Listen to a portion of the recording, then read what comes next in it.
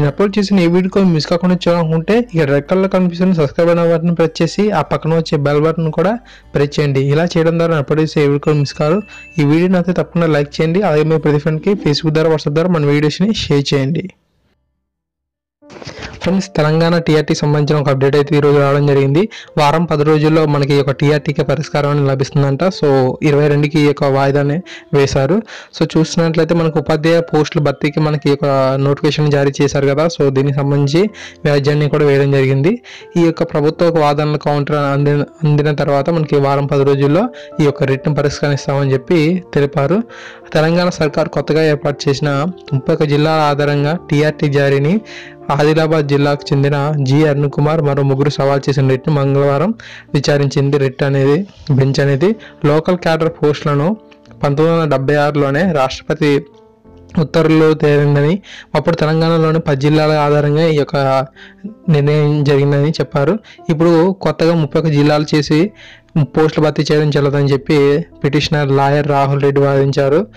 Okay. కొత్త జిల్లాల ఆధారంగా పరీక్ష నిర్వహించిన కోర్టు నిర్ణయాన్ని బట్టి ఆ యొక్క పరీక్షలను పూర్వపు పది జిల్లాలకు పరిమితం చేసేందుకు పాలనా పరంగా పెద్ద సమస్య అయితే కాదని చెప్పి డి. ప్రకాష్ రెడ్డి గారు చెప్పడం జరిగింది.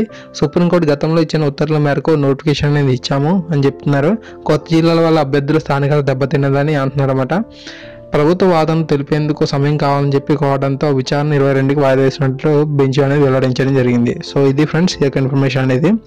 మనకి ఒక టీఆర్టీ నోటిఫికేషన్లో మనకి సోషల్ బీఈడి చేసేవారికి ముంత ముందు నోటిఫికేషన్ ఇచ్చేటప్పుడు మనకి ఎలిజిబిలిటీ లేదు.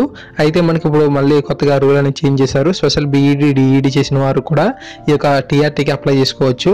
అంటే వాళ్ళు ఈ యొక్క స్పెషల్ బీఈడి డిఈడి చేసిన వారికి అర్హత ఎలా ఉంటుందంటే వీరికి స్పెషల్ పోస్టులు కూడా అప్లై చేసుకోవచ్చు.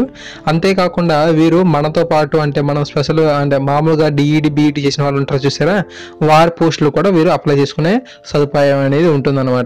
సో నోటిఫికేషన్ ఇచ్చే టైంలో మనకి వీరికి అయితే అర్హత అనేది ఇవ్వలేదు. సో అది మార్చారు. సో ఆ కాన్ఫర్మ్ ఆ యొక్క ఇన్ఫర్మేషన్ కూడా ఇక్కడ ఇచ్చాడనమాట ఉపాధ్యాయ నియామక పరీక్షల్లో స్పెషల్ బీఈడి డిఈడి చేసిన వారికి దరఖాస్తులు అనేది ఆహ్వానిస్తున్నామని చెప్పి హైకోర్టు తెలంగాణ ప్రభుత్వం తెలియజేసింది. స్పెషల్ బీఈడి డిఈడి చేసిన తమను టీఆర్టీకి దరఖాస్తు చేసుకునే అవకాశం లేకపోవడాన్ని ఆ సవాల్ చేస్తూ నాగర్ కర్నూలు చెందిన డి భీమ్ మరో యాభై మంది దరఖాస్తు చేశారు. సో ఈ యొక్క రిట్ను కూడా మంగళవారం హైకోర్టు తాత్కాలిక ప్రధాన న్యాయమూర్తి రమేష్ రంగనాథన్ న్యాయమూర్తి అభినంద్ కుమార్ షాల్ షాలతో కూడిన డివిజన్ బెంచ్ అని విచారించింది.